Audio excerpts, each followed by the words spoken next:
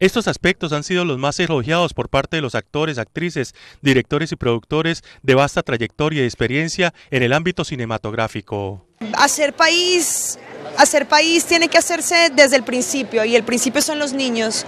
Y, yo creo que el cine y el arte en general nos sensibiliza. Así que agradecer estos espacios que nos abren culturas y espacios para expresarnos diferentes a los de la televisión y diferentes a los de la rumba, ¿no? Está, está lindo, está lindo.